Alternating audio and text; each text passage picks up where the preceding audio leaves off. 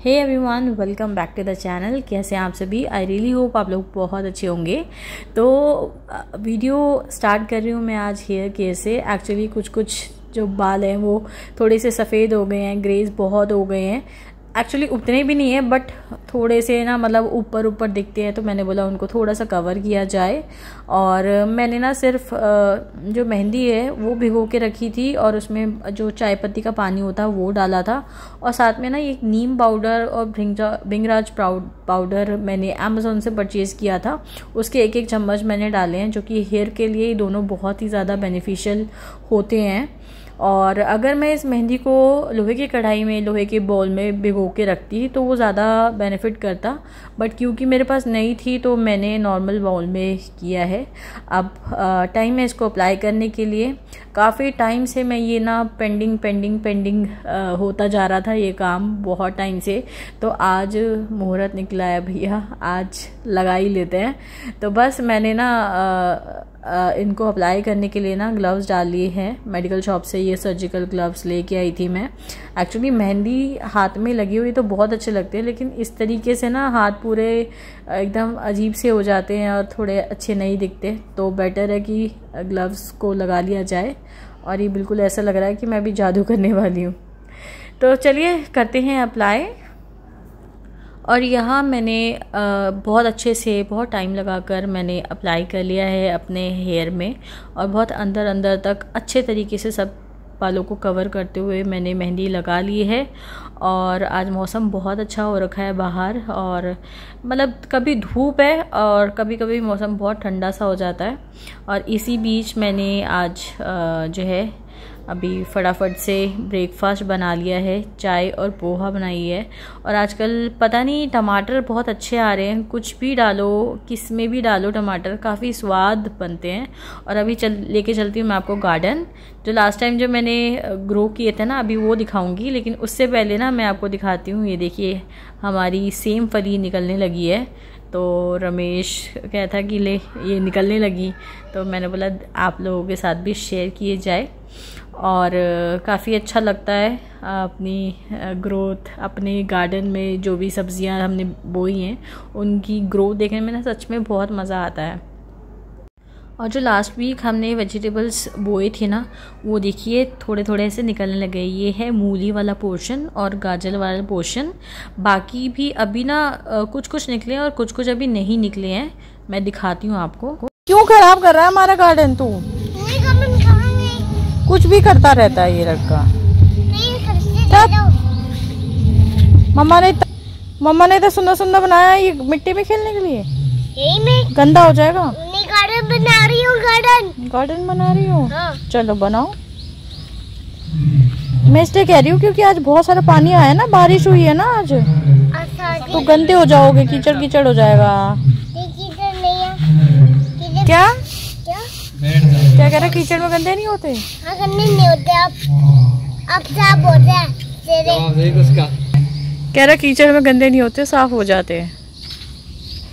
तो एक हमारा गुआवा प्लांट था जो कि बहुत किनारे में लगा हुआ था तो अक्सर ना गाय भैंस आकर ना खा जाती थी उनको।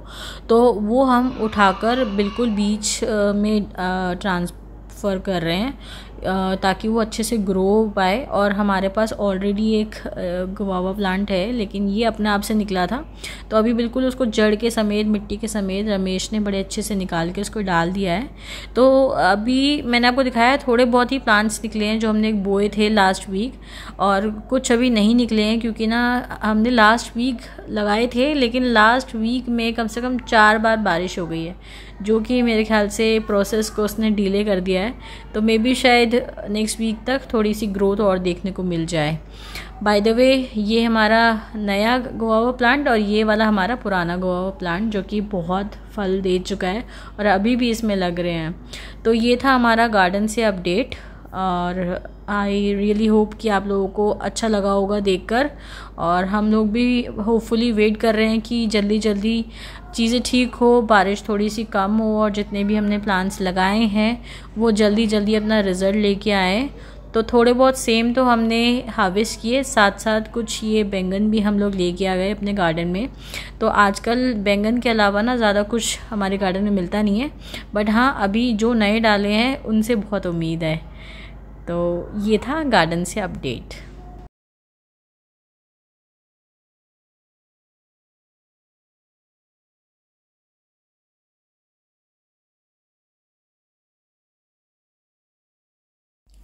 तो आज मेरी टू डू लिस्ट में ना एक और काम इंपॉर्टेंट था, जो कि बहुत दिनों से मैं ऐसे ही टाल रही थी। तो वो ये है कि आज मेरे को सारे अपने बेडशीट्स और अपने बेडिंग्स वगैरह को ना जगह देनी है। और हाँ मैंने हेड वॉश कर लिया है और मेहंदी लगाने के बाद सच में बहुत बेटर लग रहे हैं मेरे बाल और काफ़ी अच्छा लग रहा है मुझे। और सिल्की सिल्की भी लग रहे हैं। होपफुली अब इसको मैं मतलब अपने रूटीन में लाऊं और हेयर केयर भी बहुत इंपॉर्टेंट होता है हमारे स्किन केयर के साथ साथ तो आ, मैं चाहती हूँ कि ये हेयर केयर भी मैं बाकी चीज़ों के तरह इसको भी मैं मेंटेन रखूँ अपने रूटीन में। तो अभी मेरा जो मेन टास्क था आज के लिए, जैसे कि मैंने बताया टू डू लिस्ट में मेंशन था, कि आज मेरे को अपने जितने भी बेड शीट्स हो गए, जितने भी कुशन कवर्स हो गए कुशन कवर्स में भी बहुत सारी वैरायटी होती है eighteen by eighteen twelve by eighteen और सिक्सटीन बाई सिक्सटीन तो बहुत सारे कुशन कवर्स हैं। तो जितने भी रनर्स हो गए, फिर थोड़े बहुत टेबल क्लॉथ्स होते हैं इन सबको मेरे को ना जगह देनी है। तो जो मेरा कैबिनेट था क्रॉकरी यूनिट वाला, उसके नीचे वाले पोर्शन में ना मैंने इनके लिए जगह बना के रखी थी। तो आज मेरे को यही था कि आज मेरे को इनको किसी भी हाल में सेट करना ही है। तो बस मैंने बहुत सारे जो मेरे बेडशीट्स थे कुशन कवर्स थे, वो जितने भी बाहर थे, वो मैंने निकाल के इकट्ठे कर लिए।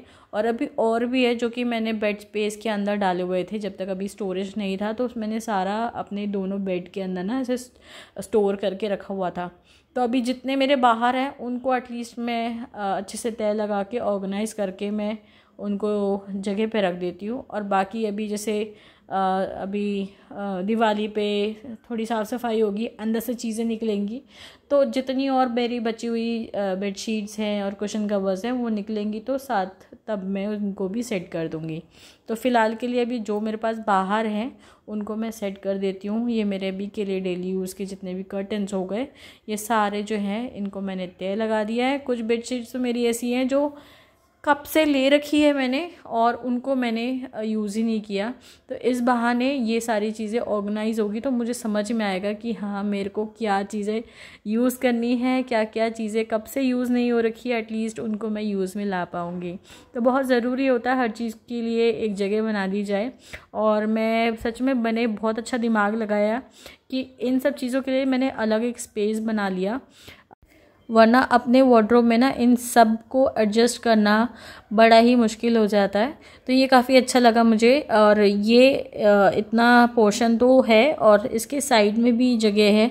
अगर मान लीजिए आगे मेरे पास कुछ और सामान भी आता है एक्स्ट्रा सामान तो मेरे पास अब एकदम सफिशेंट स्टोरेज है। तो चलिए, अब मैंने जो भी टे लगाए थे, अब वापस इनको, उनके जगह पे लगा देती हूँ।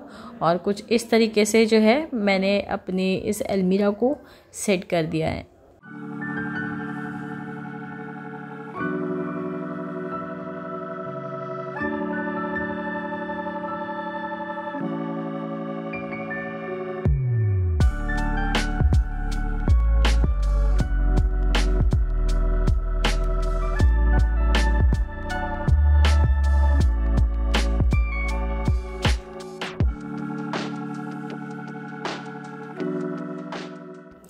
बेडशीट को ना कुछ मैंने इस तरीके से फोल्ड करके रखा है।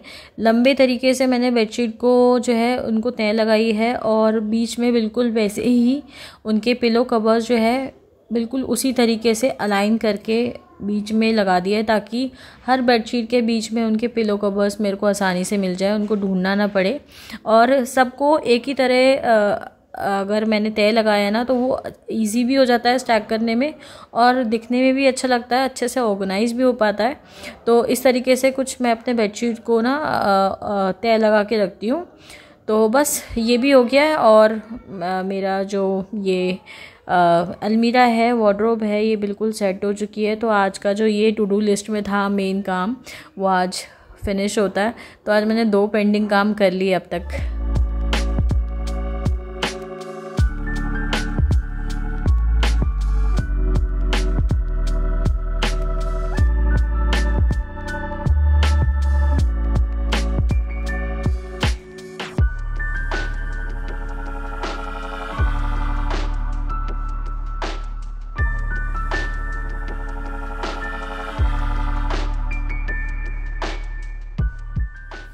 बस अब शाम हो गई है, अब रियाद के क्रिकेट एकेडमी जाने का टाइम हो गया है और रियाद यहाँ पे गुस्सा हो रहा है क्योंकि उसको ये वाइट ड्रेस नहीं पसंद है, उसको दूसरी वाली ड्रेस पसंद है।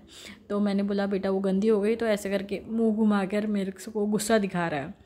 तो फ़िलहाल अभी मैं रियाद को रेडी कर रही हूँ और सारी चीज़ें उसकी जो पैक करनी होती है, वो गाड़ी में रखती हूँ और उसको अभी लेके जाती हूँ। और इसी तरीके से अभी मतलब अब तक वो सो रहा था। तो अभी भी बस जागा है तो थोड़ा सा मुडियो रखा है और ये हो गया रियात हमारा रेडी। वाइट ड्रेस में बहुत क्यूट लग रहा है। तो चलिए अकेडमी लेके चलती हूँ आपको भी और आप देखिए कि किस तरीके से ये खेलता है। और सच में क्रिकेट एकेडमी का माहौल एक अलग ही माहौल है। बच्चों के लिए ये इन्वायरमेंट बहुत ज़्यादा अच्छा होता है। आ, सब एक गोल के साथ यहाँ पे आते हैं कि उन्हें कुछ बनना है लाइफ में। तो यहाँ पर बहुत अच्छा लगता है। इनफैक्ट बच्चों को भी अच्छा लगता है और यहाँ पे जो पेरेंट्स होते हैं उनसे मैं बात वगैरह करती हूँ। तो एक अलग ही जज्बा मिलता है उन पेरेंट्स में भी कि हाँ वो अपने बच्चे के लिए कितना सोच रहे हैं, कितना मतलब कहाँ कहाँ लेके जाते हैं, ट्रेनिंग कराते हैं। तो काफ़ी अच्छा लगता है और बस ये इसका आजकल मतलब पिछले छः महीने हो गए रियाद को और काफ़ी कुछ सीख गया है रियाद और उसको देखते हुए बहुत अच्छा लगता है कि वो काफ़ी अच्छा कर रहा है और इतनी अर्ली एज से चीज़ों को सीख रहा है और मुझे बड़ी खुशी है कि हम उसको एक एक विज़न दे पा रहे हैं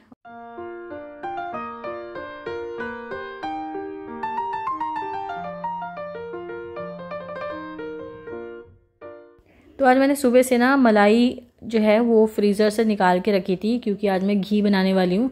और आप लोगों के भी कमेंट्स आ रहे थे कि नेहा, किस तरीके से आप घी और पनीर बनाते हो, आप शेयर करना। तो बस आज मैं बनाई रही थी तो मैंने बोला शेयर किया जाए। बहुत ही सिंपल तरीके से मैं बनाने वाली हूँ। कुछ फेंटना नहीं है, कुछ नहीं। जो बस मैंने सुबह से निकाल रखा था मेल्ट करके वो मैं सीधा कढ़ाई में डाल रही हूँ। कुछ भी फेंटना नहीं है। बिल्कुल बिना एफर्ट के बहुत अच्छे से देखना आपका घी भी बनेगा और साथ में पनीर भी बनेगा। तो मैंने यहाँ कढ़ाई में उलट दिया है। मलाई जो है वो बिल्कुल मेल्टेड है। अगर हम डायरेक्ट डाल देंगे तो बहुत गैस खर्च होती है। तो बेटर है कि आप पूरा उसको मेल्ट कर ले, उसके बाद ही कढ़ाई में डाले। और वो अभी मैंने बॉईल करने के लिए छोड़ दिया है, उसमें बॉईल लाएँगे, तब तक मैं रियाद का जो होमवर्क है, वो थोड़ा सा करा लेती हूँ। And trust me this is the very easy process of making ghee. और उसके साथ साथ आपको पनीर भी मिल जाए तो क्या बात है। तो बस यहाँ आप देखेंगे कि ना बॉयल सा आने लग गया है। तो कुछ तैयारी हम करके रख लेते हैं। तो हम पनीर निकालेंगे, उसके लिए एक कपड़ा, ऐसे कॉटन का जो बिल्कुल साड़ी वाला, सूती वाला कपड़ा होता है ना, वो हम निकाल के ऐसे साइड में रख देंगे प्लेट के ऊपर। और कढ़ाई में अच्छा खासा बॉयल आ गया है तो उसमें अभी हम डालेंगे विनेगर वाइट विनेगर तो ये मैं कुछ डेढ़ चमचा जो है विनेगर डालूँगी। मतलब मेरे कढ़ाई में जितना मलाई है, उसके अकॉर्डिंग मैं ले रही हूँ। आपके पास जितना हो, आप उसके अकॉर्डिंग लीजिएगा। मैंने एक अंदाज़ा बता दिया। और जैसे हम डालेंगे, थोड़ी देर बाद आप देखेंगे कि ना, जो मलाई है, वो फटने लगेगी। तो ये जो मलाई है ना, ये जो फट रही है, इससे हम लोग बनाएँगे पनीर। वो किस तरीके से आप देखिएगा। मैंने एक स्टेनर ले लिया है। और जो वो जो जो जो फट रही है, मलाई जो फट रही है, उसको हम कलेक्ट कर लेंगे और जितना फैटी लिक्विड है ना, उसको हम कढ़ाई में रहने देंगे, उससे हम बनाएँगे घी। तो आप लास्ट तक देखिएगा, ये प्रोसेस बहुत ज़्यादा इजी है और आप लोग डेफिनेटली स्विच करोगे इस प्रोसेस को अपने घर में घी और पनीर बनाने के लिए। तो इस तरीके से आप देखिएगा, जितना लिक्विड है, वो मैंने कढ़ाई में रहने दिया और जितना जो मलाई थी, वो मैंने ऊपर से कलेक्ट कर ली है इस कपड़े के ऊपर। अब इस कपड़े को भी ना हम लोग अच्छे तरीके से निचोड़ेंगे ताकि जो लिक्विड है, वो बाहर निकल आए और जो लिक्विड है, वो वापस से हम कढ़ाई में डाल देंगे, जिससे हम लोग बनाएँगे घी। ठीक है? अब इस कपड़े को थोड़ा सा और दबाएँगे। इसके ऊपर एक प्लेट रखकर थोड़ा सा और उसको दबाएँगे ताकि एक्स्ट्रा जो लिक्विड है वो भी निकल जाए और पनीर को शेप भी मिल जाए। और ये रहा हमारा पनीर। एक्स्ट्रा जितना भी लिक्विड था वो निकाल दिया है। अच्छा खासा शेप भी दे दिया है। अब इसको इसको सेट होने के लिए हम इसको डाल देंगे फ्रिज के अंदर। नॉर्मल फ्रिज में डालना है फ्रीज़र में नहीं डालना, इसको सेट होने देंगे और मैं आपको बाद में दिखाऊँगी कि कितना अच्छा पनीर निकला है। तो अब ये जो कढ़ाई में बच गया है ना, इस लिक्विड को हम बॉयल होने देंगे। इसको बिल्कुल भी डिस्टर्ब नहीं करेंगे। कुछ आधा घंटा, आधा घंटे से थोड़ा ऊपर लगेगा। बिल्कुल टच नहीं करेंगे। आप देखेंगे कि जो घी है ना, वो ऊपर तैरने लगेगा। और जो वेस्टेज है वो नीचे जो मतलब ब्राउन ब्राउन सा जो पार्टिकल होता है वो नीचे बैठ जाएगा। तो वो मैं आपको बाद में दिखाऊँगी। मीन वाइल मैं क्या करती हूँ कि आ, हम लोग आए हैं बाहर से अभी तो थोड़ा मौसमी का जूस हो जाए। हम लोग आजकल बहुत मौसमी का जूस पीते हैं और घर में जूसर होने का यही फ़ायदा है। तो बस हम लोग मतलब मार्केट से ना मतलब ले आते हैं आजकल ठीक ठाक। उसमें भी सीज़न में भी है तो बड़ा मज़ा आता है हम लोगों को खाने में। और जब भी मैं मौसमी काटती हूँ ना तो मुझे अपने जिम वाले डेज़ याद आ जाते हैं। मैं अक्सर जिम के बाद ना मौसमी का जूस पीने जाती थी, क्योंकि ये फ़ैट कट करने के लिए काफ़ी अच्छा होता है ये जूस तो मैं पीने जाती थी तो मैं उनका ना नोट करती थी कि किस तरीके से मौसमी को छीलते हैं। तो उनका बड़ा अलग ही ट्रिक होता था। वो ट्रिक अभी तक मेरे को याद है और मैं सिर्फ़ उसी तरीके से ही काटती हूँ अदरवाइज़ ना अच्छे से कट नहीं पाता है। तो ये बिल्कुल मैं एकदम जो रेडी वाले भैया होते हैं, बिल्कुल सेम उन्हीं की तरह काटती हूँ और मुझे सच में इतना मतलब हँसी भी आती है कि मैं क्या क्या चीज़ें नोट करती हूँ। तो बस यहाँ पर घी बन रहा है और उसको भी बीच में नज़र भी रखते जाना है, कभी वो जल ना जाए तो उस पर नज़र भी रखना है। और यहाँ आ गया है मेरा रियात, वो बोल रहा है कि मैं बनाऊँगा आज। ऐसे पकड़ो, ऐसे दबाओ।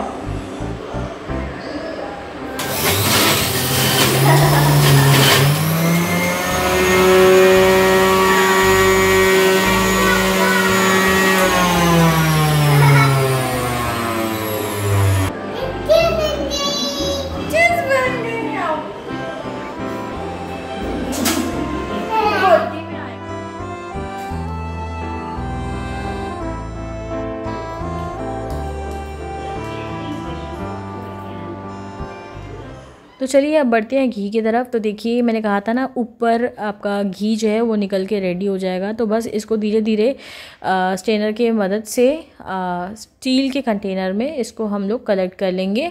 और जैसे जैसे घी निकालते रहेंगे और कम होता रहेगा घी कढ़ाई में तो लेकिन जब तक घी निकल रहा है, आप उसको निचोड़ निचोड़ के ले लीजिएगा।